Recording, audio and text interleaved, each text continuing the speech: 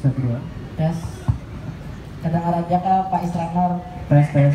Kedengeran nggak? Punya kedengaran jempolnya pak? Ya. Jempolnya. Akai. Assalamualaikum warahmatullahi wabarakatuh. Waalaikumsalam warahmatullahi wabarakatuh. Yang menjawab mudahan masuk surga. Amin Nah kada menjawab? Mudahan kada masuk neraka. Amin. Amin.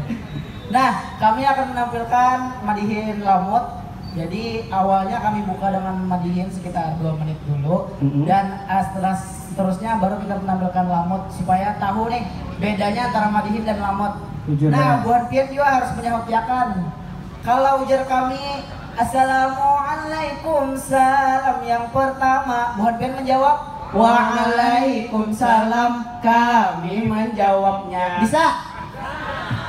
Acil-acil paman-paman di belakang bisa? Bisa? Bapak Isranor bisa? Bisa. Bisa langsung lah. Langsung jadiin Oke.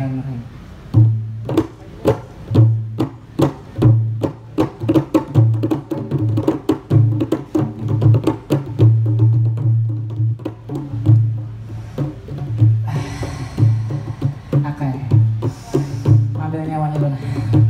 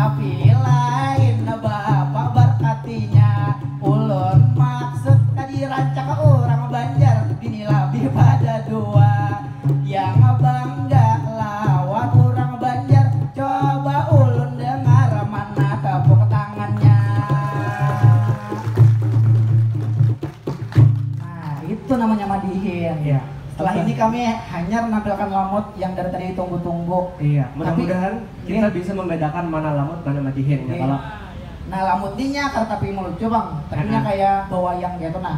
kayak Tapi- berkisah tentang seorang tokoh namanya Lamut. Oke, kayak apa kisahnya langsung aja. Oke. Bismillah.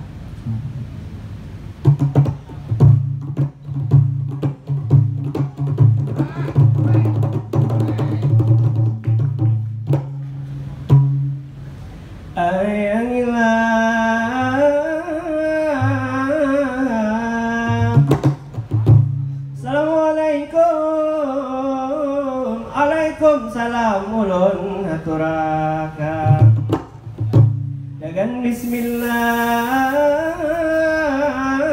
Ini mula ku karang Kertas bang dawat jualan dagang. Kertasnya putih selain lapang penak menulis tangan magoyang Tintanya titik garis di layang Bukannya ulun pandai mengarang Hanya melipur hati nang girang Lalu kisahnya tadi ulun raid pulang nang kaya tali dadayan. Tagala gincil, tagala gincal, ganjilwan genap ulun sampaikan. Jikalau pendek ulun panjang akan, jikalau targumpal ku bujurakan. Ananda, anandi, saudari, saudara tontonan. Baiklah laki atau perempuan jantan batina janda perawan Jikalau ada hari ini tasamangaran Harap jangan jadi pikiran. Maklumlah ulun sebagai palamutan Berbuku, tidak tulisan, tidak dicetak seperti koran Tidak dijual dari pasar. Tiada bertajud seperti Al-Quran Hanya ini kisah atau dongengan Kisah bahari kami bawakan dahulu kala zaman dewata Sepuluh perkara pulang ku padahakan Satu per satu pulang ku sambatakan Kena bang maknanya ku sampaikan. Satu pangtali, dua pangdadayan, ketiga pangtungkat, empat ukuran, kelima jarum,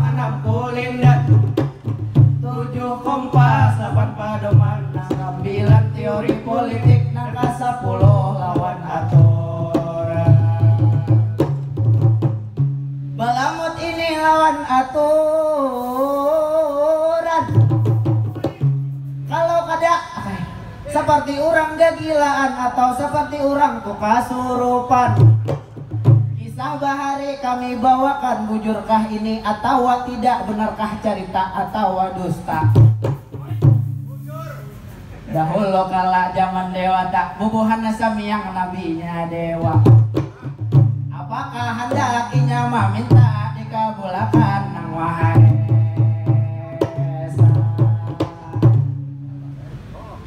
Ayangilah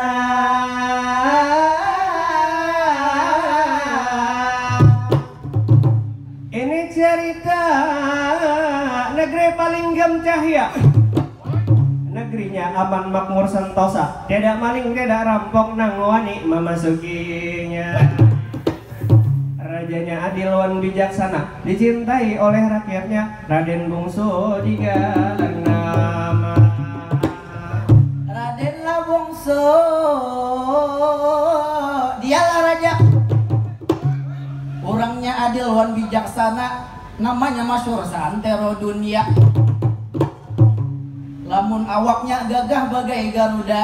Lamun baparang nang kaya singa Parang wan tombak jadi senjata. Tapi lamun lawan rakyatnya. Muhanya manis ramah senyumna Nang kaya Bapak Isranor gubernur kita. Dicintai para rakyatnya. Jadi idola pamudi lawan pemuda Di dalam negerinya. Istrinya cantik, tidak tidak terkira Rupanya bungas manis langkarnya Tertutup semua auratnya Kakamban habang menutup kepalanya Bakambang goyang bagalang batis Anak rambutnya malintang wilis Alisnya rapi kada batulis Nangkaya bulan muncul sahiris Putih bang kuning pokok panjang nipis Nangkaya gambar Sampurna talukis Tapi sayang seribu sayang. Inggih. Berpuluh-puluh tahun Raja Wan Ratu tadi berumah tangga. Inggih. Tapi Nang bungas belum jua Nang bunga selangkar tadi Tapi belum jua berisian keturunan. Nang pacangan menarusakan Parajaan Nabi Paninggam Paling Cahya. Akhirnya Raja memanggil Labai Anglong Anggasina untuk mengumpulkan seluruh tabib di negeri paling jaya. Labai Anglong Wan Anggasina ini adalah pegawai Satya Raja yang menjadi tangan kanannya lalu terjadilah percakapan seperti ini adanya. Labai Anglong Anggasina. Inggih pun kenapa Raja? Wah ini juga kumpulakan seluruh tabib di negeri paling cahya nang sakti mandraguna siapa nang kawa mau bati aku sampai aku bisin keturunan aku bari semuaan keseninya apakah hendak ku bariakan Seberataan Raja lah. Sabarataan biar Amas Intan Permata. Amas intan permata ku bariakan. Biar tahta di kerajaan Palinggam Cahya nih aku bariakan. Semua binian yang ada di negeri Palinggam Cahya nih Samuan minen ku bariakan. Kecuali bini ku aja Ah, Raja. Ini bisa bandar Jawa. Oke, lamun kayak itu, ulun langsung mencari akan tabib nanggasan mamambai pian raja. Lalu si labai anglong wan anggasina menyusuri seratus kota seribu desa. Lalu terkumpul sepuluh ribu tabib di kerajaan Palinggam Cahya. Lalu dia langsung dikumpulkan di raja langsung menambai itu si raja singkat cerita 10.000 tabib tadi yang menambai Eh. raja tadi.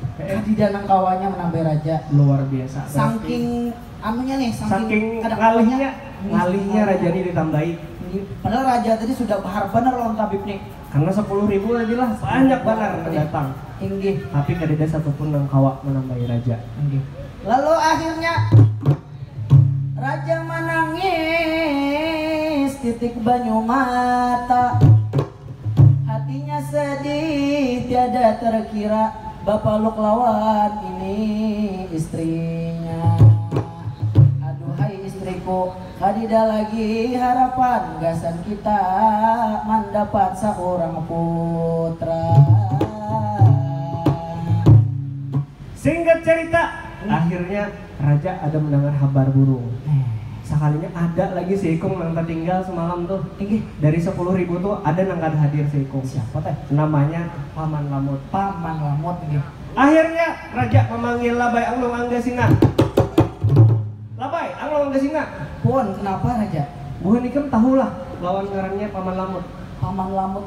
Oh itu padahal yang kami andalkan raja eh. nah kenapa kada datang semalam si Din ya Soalnya pas kami datang ke rumah si Jin meminta menambah pian nih. heeh Si tuh kada mau dibari tadi tuh amas tahta lawan wanita tadi. Jar si Jin si Jin kenapa perlu amas tahta wanita tuh pakai tinggi. kenapa jar Intinya si Jin itu tuh orang alim.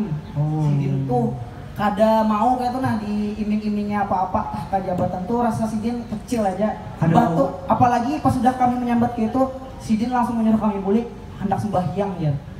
Oh, berarti dasar bujur kada mau lah. Iya. Diimingi harta, tahta wanita kada mau juga. Kada mau juga si paman lamut itu. Eh, berarti aku harus datang nih ke hadapannya sorangan. Ih, Pian harus datang raja ke paman lamut seorang. Akhirnya Raja pun datang ke rumah Paman Lamut Oke, melepaskan segala kebesaran dan atribut kerajaan. Raja datang berbaju biasa, oke, kada pakai mahkota, oke, kada pakai Pangkat. pengawal, ditinggal semuanyaan, datang mengatok rumah Lamut. oke. Assalamualaikum, Paman Ramut. Waalaikumsalam paman lamut. Kenapa pian datang ke sini raja?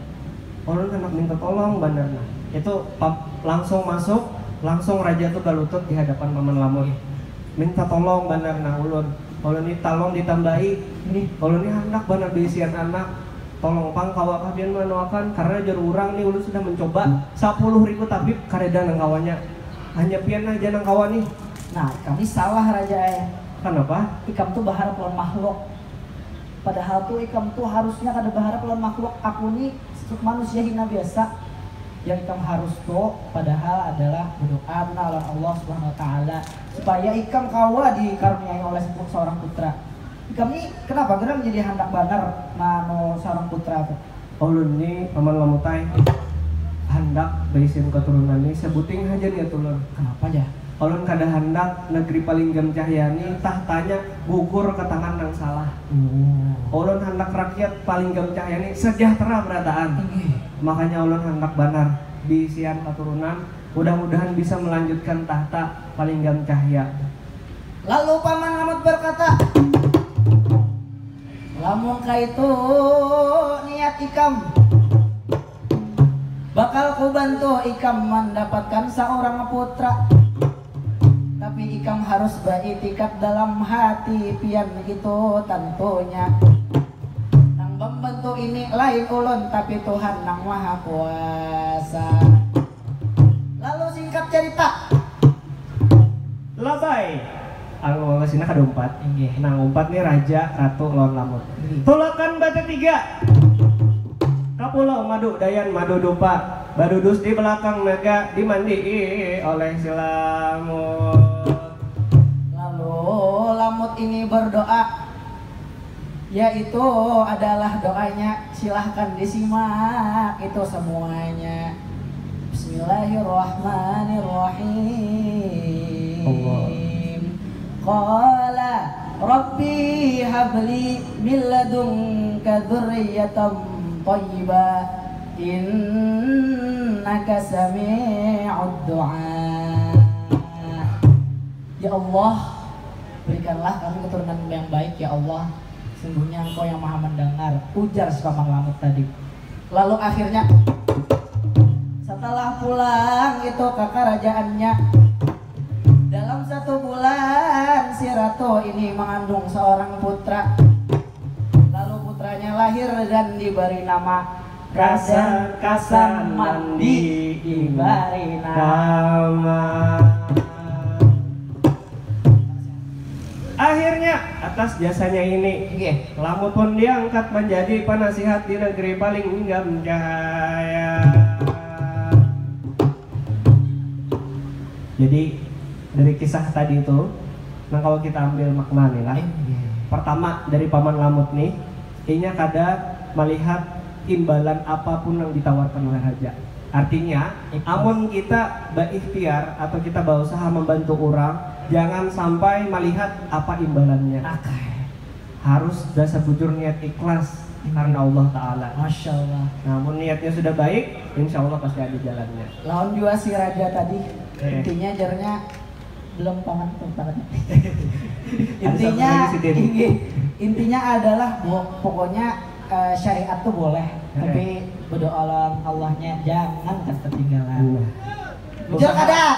bujur makhluk ini perantara Allah Iya. semuanya tetap kembali ke Allah Ta'ala Biar jabatannya setinggi apa aja, kalau Allah Taala kada meridoi, kada kau jual lah, paman-paman acil-acil. Ujar lah. bujur Nah orang Banjar ini cinta lah ulama. buktinya Buktinya semalam Hawal Martapura lebih 2 juta orang cilah lawan lah. Datangan ke Martapura. Dari Samarinda. Iya.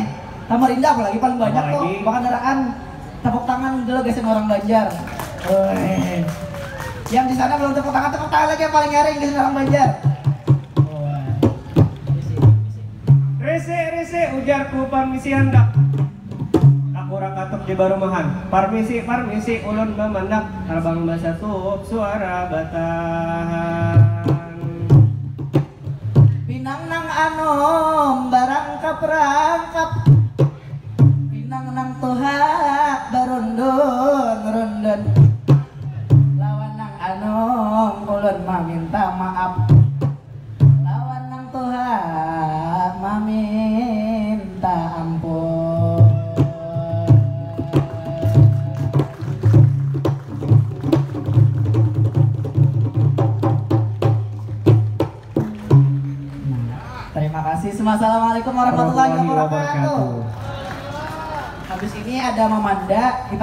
nontonan di sini dudukan ya kan? Jangan pulihkan dulu.